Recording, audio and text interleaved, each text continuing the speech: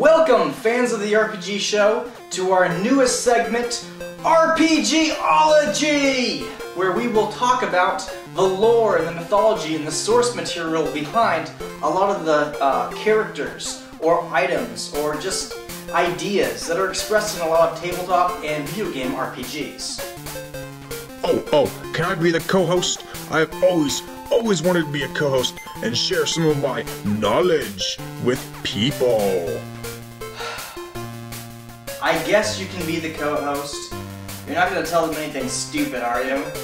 Absolutely not. I'll just stick to the facts, especially if we talk about World of Warcraft. Did you know that it is a fact that 10 million people play World of Warcraft because Chuck Norris allows them to live? I know this because I saw it on TV, and everything on TV is true. Anyway, let's go on to our first uh, item of discussion. Today on RPGology, we're going to talk about the source material behind the chocobos featured in the Final Fantasy series. It's actually a really interesting story on how they came about and what material has inspired the chocobo. There are a lot of different suggestions people have made for what inspired chocobos, but there's very little official information from Square Enix on the inspiration behind the creation of the chocobos. It's known that chocobos were invented by Koichi Ishii for Final Fantasy II. In an interview in 2007, Hiromichi Tanaka, then vice president of Square Enix, said that Koichi Ishii came up with the concept of the chocobo and even drew the first rough sketch. The inspiration may have been Kyo-Ro-chan, a cartoon bird used in commercials for chocolate ball candy sold in Japan called the Choco Ball, which is also, ironically, the name of an attack chocobos sometimes use in the games. The cartoon bird also says Cooey in the commercials, like the chocobos do. There's even a song he sings in these commercials.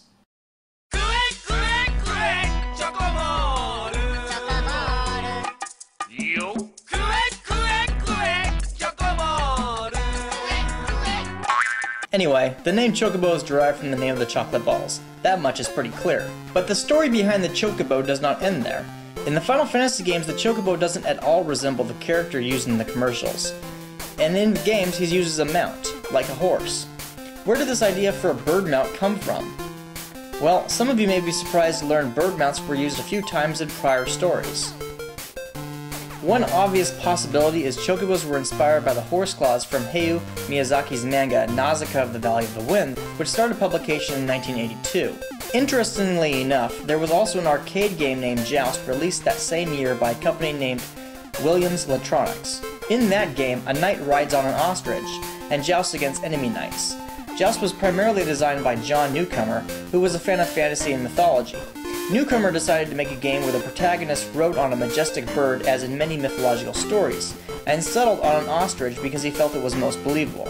However, even before Nausicaa and Joust, there was the 1977 animated film called Wizards, directed and produced by Ralph Bakshi.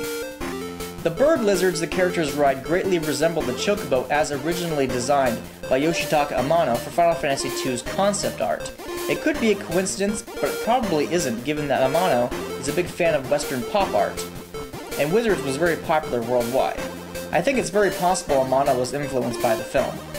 Now historically, there was a large chocobo-like bird, which modern scientists have dubbed the Gastornis. It's named after Gaston Planté, who discovered the first fossils in 1855. This bird went extinct about 45 million years ago, and is cited by Miyazaki as an inspiration behind the horse claws he drew in Nausicaa the Valley of the Winds. Hey now, you're forgetting another possible source. What are you talking about? That's pretty much all the information that we have about the, the source material for chocobos. Big Bird from Sesame Street. Big Bird was created in 1969 and designed by Jim Henson.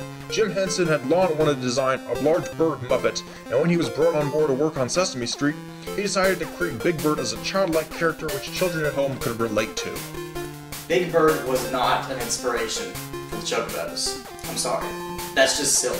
Another possible source is Snuffleupagus. Notice the strong resemblance between these two characters. He looks just like a chocobo. Snuffleupagus was not a source material either. It was made like, what, 1985 when that puppet was made? But Final Fantasy II was made in 1986, meaning it could be plausible. I don't think so. It could be.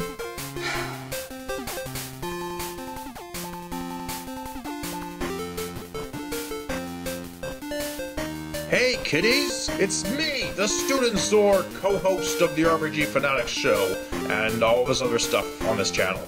Anyway, why don't you take a look at some of these other videos done by the RPG fanatic, Carey Martell himself? How about it? Also, like and subscribe to our channel for great justice!